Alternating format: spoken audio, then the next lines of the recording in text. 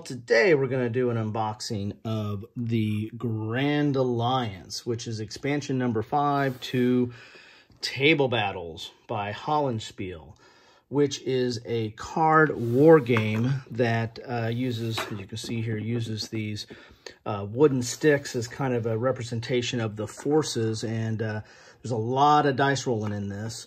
Uh, expansion number five, the Grand Alliance, uh, adds two uh, battles from the Nine Years' War and four battles from the War of Spanish Succession. So this is the age of Eugene and Marlborough. Um, anyway, let's get inside here and see what it comes in this little uh, plastic card case here. It's kind of nice. I probably will not store it back in there. And then you just slip this cover off here. And basically what you're getting in this expansion is you are getting more cards, so for more battles. This uh, talks about the expansion and what you get in the expansion. Then you have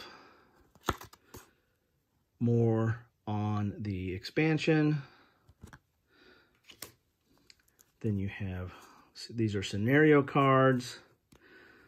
So you're going to get these battles in here. And these tell you um, you know, who's who's uh, opposing, uh, who the opponents are, and a little bit about the battle. So these are the different battles that you're getting in this expansion. So it looks like we're getting, should be six, one, two, three, four, five, six battles.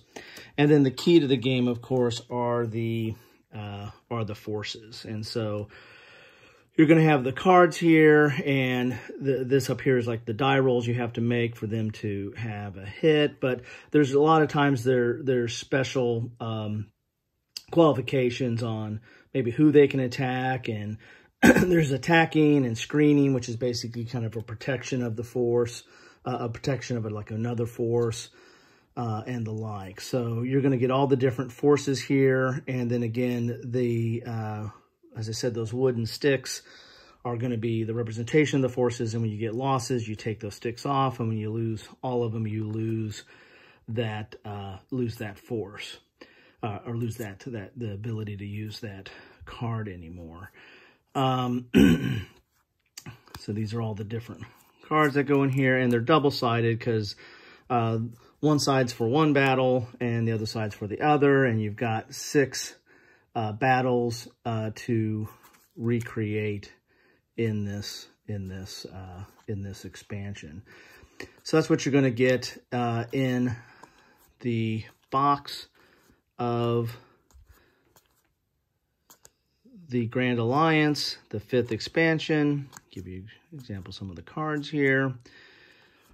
And then doubles, you have to roll doubles and then be to be able to use that uh, that ability. Again, it's a lot of dice chucking. Um, the system's not overly complex. Uh, it, it's it's not.